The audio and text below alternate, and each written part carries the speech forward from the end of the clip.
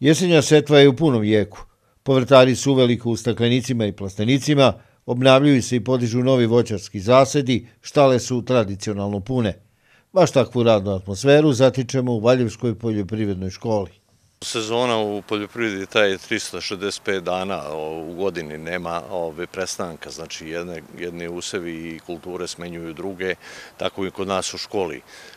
što se tiče ove prethodne godine, odnosno prethodnog leta, imali smo jako teško leto sa malo padavina, međutim mi ovdje u školi imamo sistem za navodnjavanje, tako da na taj način pokušavamo da ublažemo posljedice suše, što i ove godine dalo određene rezultate. Upravo cilj školske ekonomije nije proizvodnja samo proizvoda, već praktična obuka učenika, ali opet dok nema savremene proizvodnje koja je na visokom tehnološkom nivou, onda ni obuka učenika nije primerena. Mi godinama pratimo te napredke i pokušavamo da to implementiramo u samoj školi kako ne bi ovaj, znanje i umeći i veštine tih naših učenika zaostajale za nekim drugim ovaj, učenicima u Evropi i okruženju.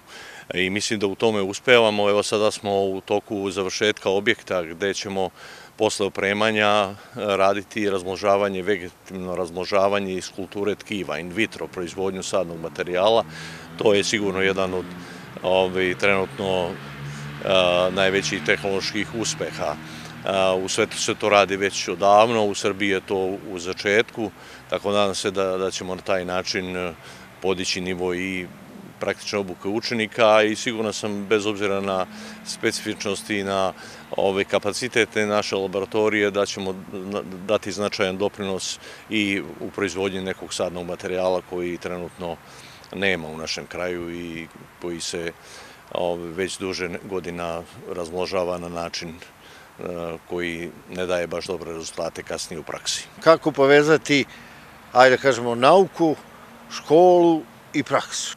Pa vrlo jednostavno, mi se oslanjamo i na naše fakultete, imamo dobru saradnju sa institutima i fakultetima, ne samo kada je u pitanju voćarstvo i ratarstvo, već i stočarstvo i sve druge proizvodnje.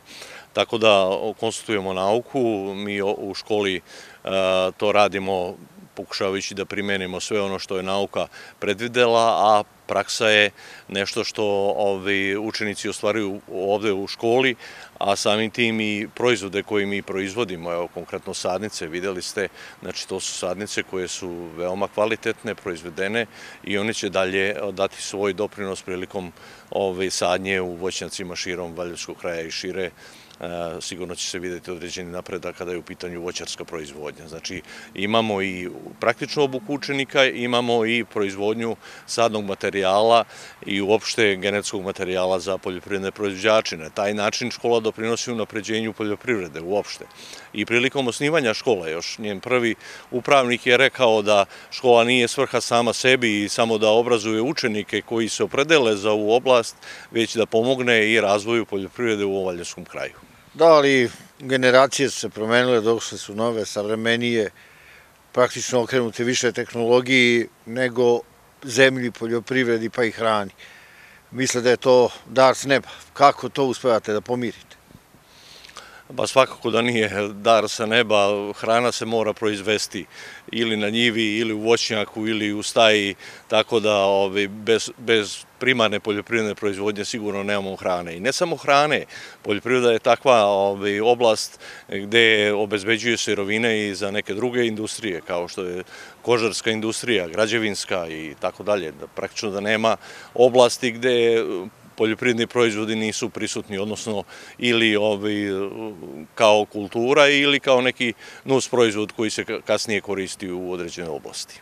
Prihvataju li deca da rade na poljoprivredi i kako prihvataju školovanje kad shvate da to ipak nije tako jednostavno i lako? Poljoprivreda je takva nauka da traži pre svega dosta znanja, dosta je skupa, sredstva za rad u poljoprivredu su jako skupa i mehanizacija i ostala oprema ako se neko opredeli za preradu voća i povrća i to je jako skupo i traži dosta fizičkog rada, znači e, traži e, svakodnevno prisustvo i svakodnevni rad. Onaj ko se bavi stočarskom proizvodnjom, on ne može da računa ni na subotu, na nedelju, na državni praznik, mora raditi. Eh, jedan broj učenika se opredeljuje i vraća se svojim gazdinstvima, odnosno svojim kućama i nastavlja dalje da se bavi. To nije veliki broj istini za volju ovaj, sada, ali bitno je da postoji taj trend i da ove, postoji broj određen broj učenika koji se vrati na svoje gazdinstva i na taj način napredi svoju proizvodnju i mislim da na tome treba što više da radimo, da, ali opet da bi se vratili moraju imati određeni motiv. Većina njih, e, kažem, zbog ovih stvari je jako teško raditi u poljoprivredi, znači bez obzira, pored sve mehanizacije i ostalom mehanizacijom, neko mora da upravlja ovaj, i danju i ako su vremenski uslovi lošiji, i tako dalje. Ako u pitanju stočarska proizvodnja, mora se doći i ujutru i u podne i uveče i u toku dana obići subotom i nedeljom, kao mi ovde što radimo. Praktično ne postoji ni državni praznik, ni subota, nedelja, svaki dan smo prisutni u školi. Poljoprivredni proizvodi u čitavom svetu su generalno gledano jeftini. Koliko se vama sve ovo isplati ili jednostavno vi kao škola možete i neke subvencije da koristite? Pa nažalost mi ne možemo da ostvarimo, ostvarujemo dosta subvencija od Ministarstva poljoprivrede, ali ne možemo sve. E, tu smo stavljeni u podređenjem položaju odnosno na poljoprivredne proizvođače, recimo nemamo pravo na subvencije po hektaru za biljnu proizvodnju. Ove, I to nam je dosta dosta veliki problem. Gorivo plaćamo po tržišnim cenama, po javnoj nabavci.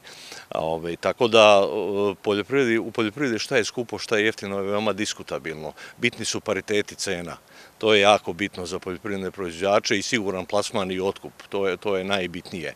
Mi trenutno, odnosno ne trenutno, već duže niz godina uspevamo da pokrijemo sve troškove i da ostane nešto za proširenu reprodukciju, zavisnosti od godine godine do godine. Znate, proizvodnja pod vedenim nebom, cene poljoprivrednih proizvoda, proizvoda proizvoda u stočarstvu mesa, mleka, nekada ostane više, nekada manje, ali uspevamo da zaokružimo ciklus i da imamo dovoljno za ponovnu reprodukciju, a ako ostane novca onda se upotrebljava da se ovi e, kupuju nova nastavna sredstva, nova oprema, nova mehanizacija i tako dalje. Škola je nekada praktično imala puno zemlje. Evo sad jedan deo industrializovan. Gde vam je ostala zemlja?